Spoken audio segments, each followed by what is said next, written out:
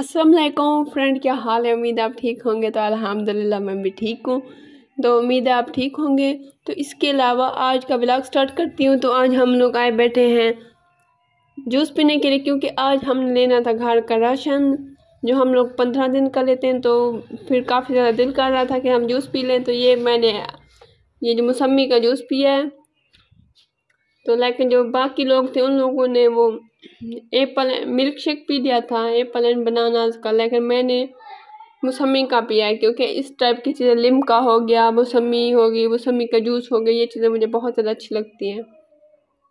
तो जूस तो माशाल्लाह काफ़ी ज़्यादा ही अच्छा था इसके अलावा ये जो जितना भी सामान था हम लोग लेके आ गए, जिसमें से मौसमियाँ लिए और इसके अलावा ये जो पंद्रह दिन का हमारा घी हो गया, राशन, जितना भी है सब कुछ लिया है। इस दफ़ा हमें थोड़ी सी ना शॉपिंग करते हुए मतलब एक टाइम लग गया क्योंकि हमने वो चीज़ें नहीं ली जो बाइकआउट हमने की हुई इसराइल की जितने भी ब्रांड्स हैं, फ़िलहाल हमने नहीं लिए उसमें से। हम ढूंढते रहे हैं कि पाकिस्तान ब्रांड कौन है, पाकिस्तानी कौन है, कौन सा ब्रांड है, लेकिन टाइम के साथ साथ हमें चीज़ों का पता चला है। तो ये बच्चा ट्यूशन मेरी सिस्टर से ट्यूशन पढ़ने आता है तो वो आया हुआ था। तो ये बनाना वगैरह ले ले आए थे ना, बच्चा फिर ले के खा रहा था। तो ये तो बंद, ये गोभी का फूल है तो वैसे मुझे सब्ज़ियाँ बहुत ज़्यादा पसंद है। इवन कि मेरा ड्रीम है कि मैं सब्ज़ियाँ लगाऊँ या इस टाइप की चीज़ें हैं, लेकिन मैं अभी काट नहीं रही, लेकिन ये चीज़ें मेरे लिए एक सुकून का ज़रिया है कि मैं सब्ज़ी लगाऊँ ऐसे फल फ्रूट ये चीज़ें लगाऊँ, क्योंकि मेरे अब्बू को भी इन चीज़ों में इंटरेस्ट है और मुझे भी इन चीज़ों में इंटरेस्ट है। तो इस दफ़ा ना मैं बस देख रही थी, कोई है तो नहीं ऐसी चीज़। मुझे लगा था वाइटर जो है इसराइली मतलब ब्रांड है, लेकिन बाद में मुझे पता चला वो लिप्टन है मतलब वाइटर नहीं है तो फिर मुझे जाकर तसली हुई। तो हमने कोलगेट की जगह हमने ये दूसरी मतलब ली है टूथपेस्ट तो पाकिस्तानी ब्रांड लिए, थोड़े से मतलब चीज़ों का क्वालिटी का फ़र्क है, लेकिन हम लोग एडजस्ट कर रहे हैं। हम अपने फ़लस्तीनी भाइयों, बहनों के लिए हम ये सब कुछ कर रहे हैं। इसलिए हमने घी भी वो नहीं लिया डाटा वगैरह नहीं लिया, हमने दूसरा पाकिस्तानी कंपनी का लिया है। तो इधर मैं लिस्ट बना के गई थी कि पाकिस्तानी कंपनी का कौन सा है और हमारी कंपनी जो पाकिस्तानी कंपनी कौन सी और इसराइली कौन सी हमने पाकिस्तानी लेनी थी ब्रांड। ये बच्चे ना इधर ठहरे थे और पहले बचपन में मैं सारा दिन इधर लटकी रहती थी, इसीलिए इतनी लंबी हाइट है मेरी। पहले में सारा दिन ये काम था। अब अली और दनियाल की हाइट बहुत ज़्यादा छोटी है। मैंने कहा, तुम लोग वैसे लटका करो। तो बचपन से ये ऐसा ही है, मैं इधर लटका करती थी। ये बच्चे ना साइकिल बाइक साइकिल चला रहे थे तो मैंने कहा है कि मैं भी सीखती हूँ। तो अली को कहा वो ये सिखा दें आप कि मैं कैसे चलाऊँ? तो ये बच्चे ना बहुत ज़्यादा खुश होते हैं जब हम बच्चों के साथ टाइम पे मतलब पास करते हैं, जब वो बच्चे खेल रहे होते हैं तो हम उन पर तवज्जो देते हैं, बच्चे बहुत खुश होते हैं।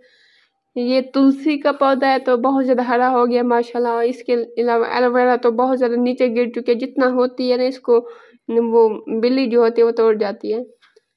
आप ना मैं इधर बाइक पे बैठ के मैं पूछ रही थी कि अब इसको कैसे चलाना है? क्योंकि मैंने अब बाइक चलानी है तो मुझे ना बच्चे बता रहे थे, ये जो छोटा बच्चा है, ये भी मुझे समझा रहा था, अली और दनियाल भी समझा रहे थे, इसको ऐसे पकड़े, ये है, इधर मतलब इसका वो है, क्लच है, इधर गियर है, इस टाइप की चीज़ें मुझे बता रहे थे। तो मुझे चलाने का शौक़ था तो मैंने कहा मैं चलाऊँगी। और मुझे डर भी लग रहा था लेकिन थोड़ा सा ना उसको मतलब मैं चीज़ों को उसकी पहुँच चुकी हूँ कि किस टाइप से कैसे चलता है बाइक इतना मैं समझ चुकी हूँ।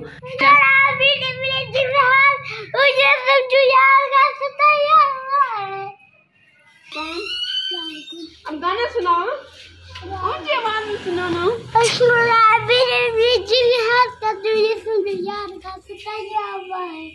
कौन सा है। तुम्हें?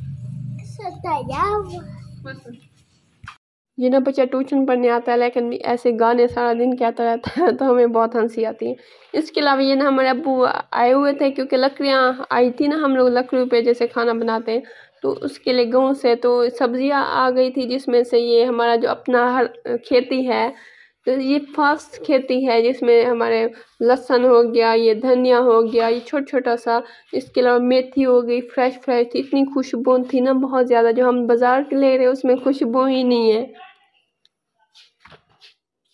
तो ये मेथी तो बहुत ज़्यादा फ्रेश थी ना, और मतलब इतनी ज़्यादा ख़ास इस दफ़ा हमारी खेती वैसी अच्छी नहीं, जैसे पहले होती थी, लेकिन अभी ये आगाज़ है उसका ना, फिर भी मतलब हो गया है।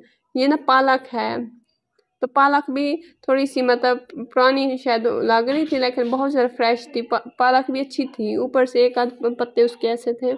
ये भिंडी कितनी फ्रेश है माशाल्लाह इतनी ज़्यादा।